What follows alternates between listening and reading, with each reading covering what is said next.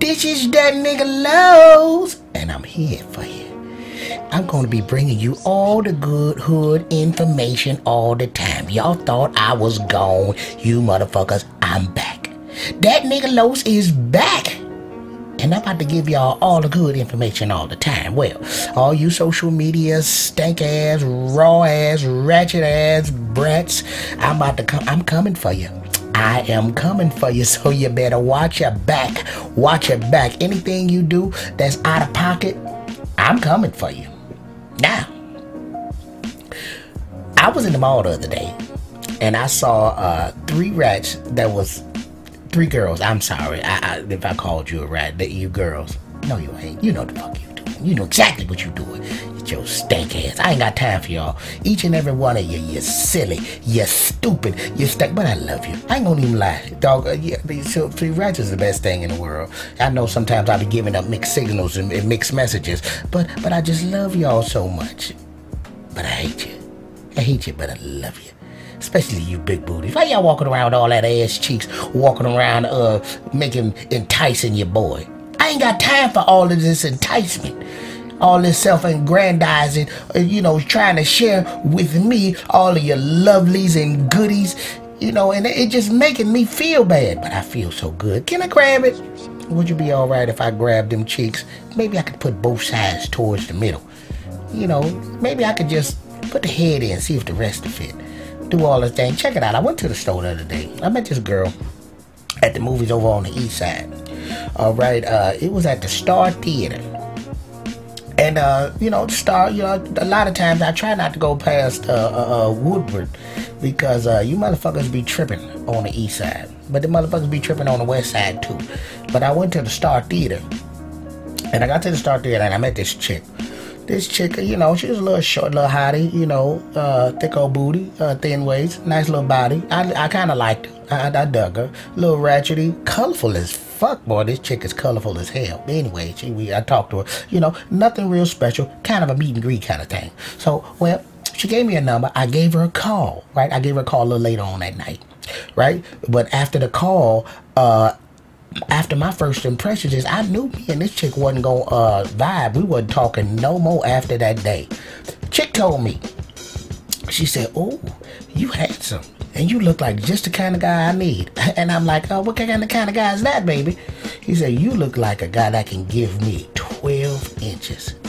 12 oh, I knew right away this relationship wasn't gonna work because she was gonna be disappointed like a motherfucker trying to get 12 out of me. I said, how about I give you six two times? You know, cause uh, I'm not sure what this size 10 and a half told you inside of the grand scheme of what you think that I'm packing, but 12 ain't it. 12 is not what you're gonna be working with as it pertains to uh, that nigga low. So, uh, needless to say, I never called her again because uh, her open orifices has probably uh, got too much space that I may not be able to fill. So, um, if your box is uh, is good for six, seven, eight, you know, right in that age, then uh, we might work. But uh, other than that, I ain't got nothing else for you. At any rate, let's get on to uh, social media y'all niggas is you know it kind of keeps me going. When looking at uh you know I love Facebook I love Instagram and I you know I look at Twitter but uh no I don't I don't go to Twitter uh, too much. My, my man Donald Trump is on Twitter uh, a little too much and that nigga done took over the whole set. He actually he took it over the whole set and everything else in regular uh news as well I ain't never seen so much white privilege in my entire life. You guys had wrote the book on shit you can get away with. Nigga, Barack Obama did half of the shit that you guys did. I'm not sure that black people would even be in this country. I'm almost positive you would have put black niggas back on the boat for and for doing half the shit this nigga Trump did. But anyway, I digress. Let's get back to the real point of uh, why I'm getting ready to do this podcast. And it's basically, I'm talking about social media. Social media has gotten Gayle King uh, the business, actually media in general, but social media is allowing us to see that shit in real time. And then now the, uh, I'm not saying the Illuminati, but they gonna make my boy Snoop Dogg apologize. Why the fuck he apologizing for how he feel? That nigga wasn't out of pocket. I yeah, maybe he used some of the wrong languages, but you know, I would have took off the ass end of that. But like he said, what are you getting out of this? What is she? What is she getting out of demonizing the black male? Nothing.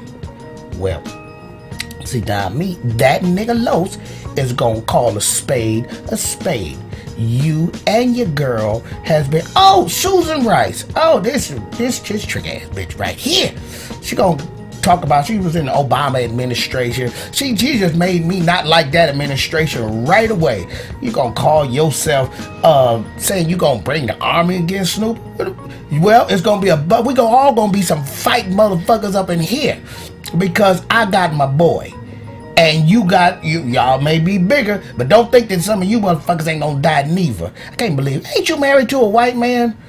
So that means you got a stake in demonizing the black man yourself. I ain't fucking with you. I ain't fucking with you at all. Matter of fact, you shouldn't even be in the limelight. I'm gonna put a picture up uh, so people can see. See, here's uh, Susan Rice. Here's Susan Rice and her husband. And this is me giving her the finger. Fuck you, you red ass bitch. And this is uh, this is unfiltered. Just so y'all to know that nigga Los ain't playing and he ain't buying it. Uh, now here's a word from our sponsor.